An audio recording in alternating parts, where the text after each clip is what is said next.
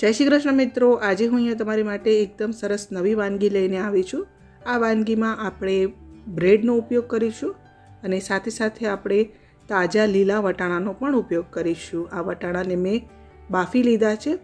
ચાલો friends, recipe શરૂ કરીએ. એ પહેલાં તમને એક રિક્વેસ્ટ છે વિડીયોને એક લાઇક જરૂરથી કરજો. જ્યારે પણ તમે વિડીયોને લાઇક કરો છો ને, ત્યારે નવી નવી વાનગીસ તમારી માટે લાવવાનો અમારો પ્રોત્સાહન ઘણો વધતો હોય છે. ચેનલ પર પહેલી વાર આવ્યા હોય તો નીચે આપેલું લાલ કલરનું સબસ્ક્રાઇબ બટન પ્રેસ કરી દો. બાજુમાં આપેલું બેલ પ્રેસ કરો અને ઓલ નોટિફિકેશન જરૂરથી પ્રેસ કરજો. તો જ તમને અમારા આવનાર બધા નવા વિડીયોઝના નોટિફિકેશન સમયસર મળતા રહેશે. તો મિત્રો, સૌપ્રથમ આપણે મિક્સર બાઉલમાં ચાર ટેબલ સ્પૂન જેટલા સિંગદાણાને ક્રશ કરીશું. વન ફોર્થ કપ જેટલા સિંગદાણા છે આ. આને આપણે થોડાક કકરા ક્રશ કરવાના છે. એકદમ ફાઇન પાવડર નથી બનાવવાનો. અહીંયા હું તમને બતાવી દઉં. આ રીતે આપણે એને અધકચરા ક્રશ કરીશું. હવે આ સિંગદાણાને આપણે એક બાઉલમાં કાઢી લઈએ. મિત્રો, આ વાનગી એકદમ સહેલી છે અને હેલ્ધી પણ છે. હવે ફ્રેન્ડ્સ, મિક્સર બાઉલમાં આપણે ચાર પીસ બ્રેડના લઈશું અને તેના ટુકડા કરીને એડ કરીશું. અત્યારે મોસ્ટલી બધાના ઘરમાં બ્રેડ તો અવેલેબલ હોય જ છે જો તમારી પાસે બ્રેડ ના હોય અને તમે આ વાનગી બ્રેડ વગર બનાવવા માંગતા હોય, તો તમે થોડાક પૌવાનો ઉપયોગ પણ કરી શકો છો. તમારે પૌવાને થોડાક પલાળીને પછી તેનો ઉપયોગ કરવાનો. મેં અહીંયા બ્રેડ ક્રમ્સ તૈયાર કર્યા છે. આ રીતે એકદમ ફાઇન પાવડર નથી બનાવવાનો. બસ આ રીતે જ આપણે બ્રેડને ક્રશ કરવાની છે. તો આપણે બ્રેડને ક્રશ કરી લીધી છે. ચાલો ફ્રેન્ડ્સ, આગળ રેસીપી જોઈ લઈએ. ફરીથી મિક્સર બાઉલમાં આપણે વટાણા એડ કરીશું. આ વટાણાને મેં બાફીને લીધા છે. અને તેને આપણે ક્રશ કરવાના છે. વટાણાને પણ આપણે અધકચરા જ વાટવાના છે. ફ્રેન્ડ્સ, જ્યારે તમે વટાણાને બાફો, ત્યારે તેને પચાસ ટકા સુધી જ કૂક કરવાના છે અને પછી મિક્સર બાઉલમાં આ રીતે અધકચરા વાટી લેવાના છે. આ રીતની તેની કન્સિસ્ટન્સી હોવી જોઈએ. હવે ત્યારબાદ આપણે એક મોટું મિક્સિંગ બાઉલ લઈશું અને સૌપ્રથમ આપણે તેમાં આ ક્રશ કરેલા વટાણા એડ કરીશું. ત્યારબાદ મિત્રો, આપણે બ્રેડ ક્રમ્સ જે તૈયાર કરીને રાખ્યા છે તેને એડ કરીશું. બ્રેડ ક્રમ્સની જગ્યાએ તમે પલાળેલા પૌવાનો ઉપયોગ કરી શકો છો. અડધો કપ પૌવા પલાળીને તેને હાથથી ચોડી લેવાના, પછી તેને ઉમેરવાના. ત્યારબાદ ફ્રેન્ડ્સ આપણે જે સિંગદાણા વાટીને રાખ્યા છે તેને પણ એડ કરીશું. ત્યારબાદ ફ્રેન્ડ્સ આમાં આપણે અડધો કપ સૂજી એડ કરીશું. આનાથી આપણા જે મટર રોસ્ટી છે એકદમ ક્રિસ્પી બનશે. અને હવે ફ્રેન્ડ્સ આપણે તેમાં લીલા ધાણા એડ કરીશું. એકદમ ઝીણા સમારીને લેવાના છે. અડધો કપ જેટલા મેં લીધા છે. અને એક નાની સાઇઝનું શિમલા મર્ચ, જેને એકદમ ઝીણું સમારીને લીધું છે, તેને પણ આપણે એડ કરીએ. અને ત્રણથી ચાર ઝીણા સમારેલા લીલા મરચાં આપણે એડ કરવાના છે. મિત્રો, તમે અહીંયા તમારા ટેસ્ટ મુજબ કોઈ પણ શાકભાજી એડ કરી શકો છો. ફ્રેન્ડ્સ, અત્યારે મેં એક મીડિયમ સાઇઝનું ટામેટું લીધું છે અને તેને પણ એકદમ ઝીણું સમારીને એડ કર્યું છે.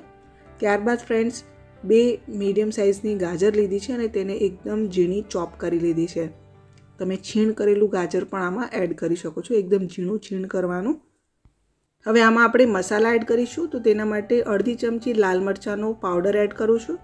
ત્યારબાદ ફ્રેન્ડ્સ આપણે અડધી ચમચી રેડ ચીલી ફ્લેક્સ એડ કરીશું. આ બિલકુલ ઓપ્શનલ છે.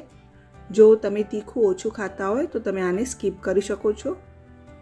રેડ ચીલી ફ્લેક્સની જગ્યાએ તમે લાલ મરચાંનો પાવડર પણ વધારે એડ કરી શકો છો અથવા લીલા મરચાં પણ તમે વધારે એડ કરી શકો છો. હવે ફ્રેન્ડ્સ આમાં આપણે અડધી ચમચી ગરમ મસાલો એડ કરીશું. આનાથી સ્વાદ ખૂબ જ સરસ આવશે. આપણા મટર રોસ્ટીનો અડધી ચમચી આપણે તેમાં ચાટ મસાલો એડ કરીશું. અડધી ચમચી આપણે તેમાં ધાણા જીરું પાવડર એડ કરીશું.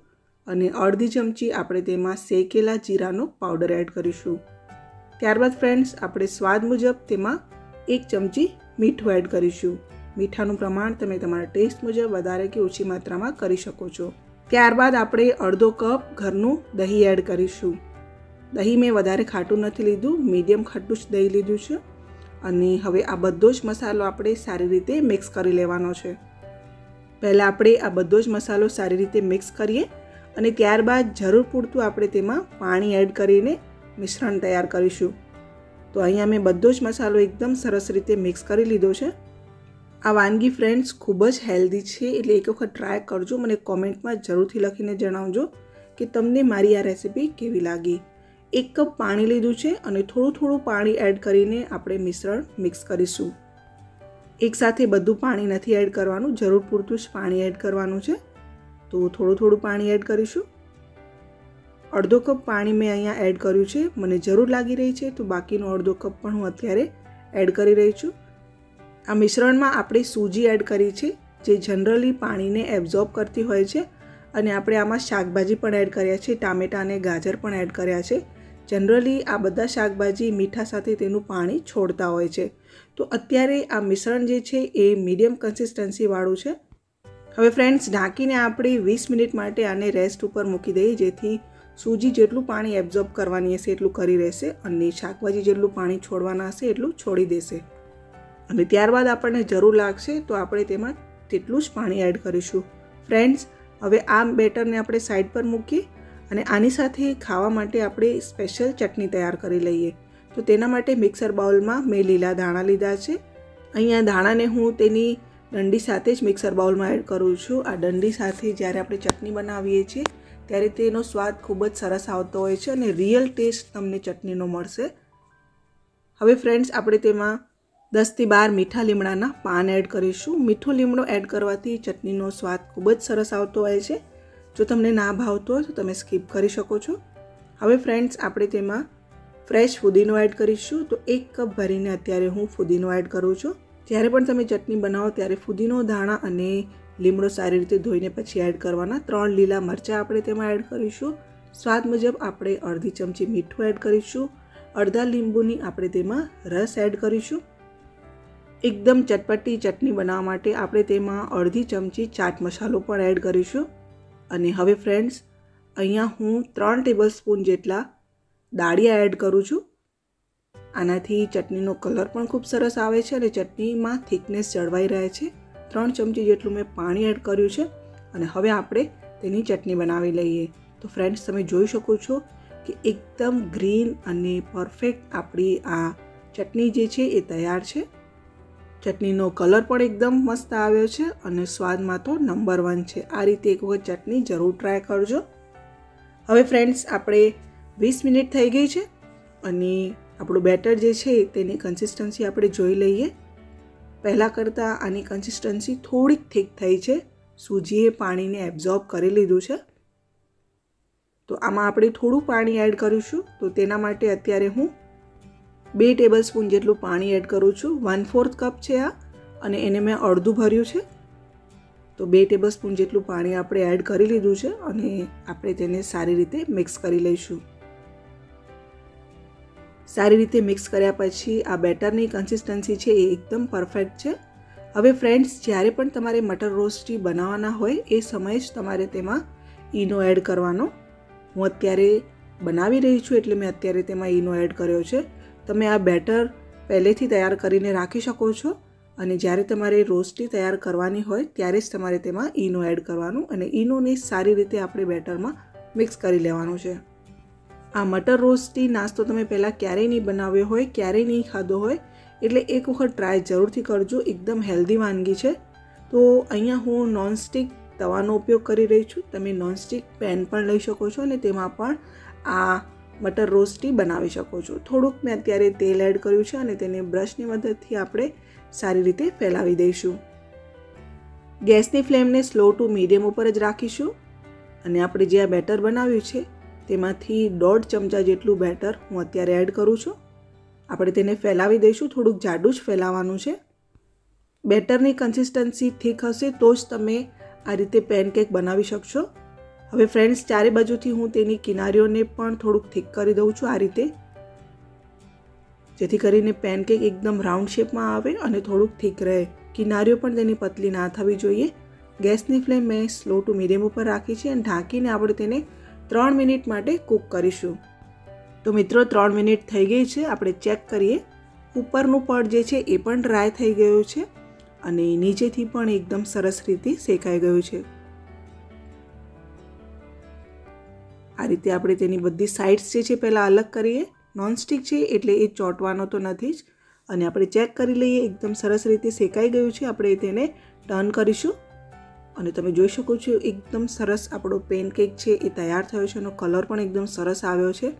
થોડુંક આપણે તવા ઉપર તેલ લગાવીશું, જેથી કરીને નીચેની સાઈડથી પણ એ એકદમ સરસ રીતે ક્રિસ્પી થાય અને એનો કલર પણ એકદમ સરસ ગોલ્ડન બ્રાઉન આવી જાય. ફરીથી ઢાંકીને આપણે સ્લો ટુ મીડિયમ ફ્લેમ ઉપર ત્રણ મિનિટ માટે કૂક કરીશું. અને ફ્રેન્ડ્સ ત્રણ મિનિટ થઈ ગઈ છે. નીચેની સાઈડથી પણ આપણું આ મટર રોસ્ટી પેનકેક જે છે એ તૈયાર થઈ ગયું છે. હું તમને બતાવી દઉં અને તમે જોઈ શકો છો કે બંને બાજુએથી એકદમ સરસ રીતે શેકાઈ ગયું છે. આ એકદમ સોફ્ટ હોય છે એટલે તમારે એકદમ ધીરે ધીરે જ તેને ટર્ન કરવાનું આવશે, નહીં તો એ તૂટી જશે. તો ચાલો ફ્રેન્ડ્સ, આપણું મટર રોસ્ટી પેનકેક તૈયાર છે. તો આપણે તેને પ્લેટમાં સર્વ કરીશું.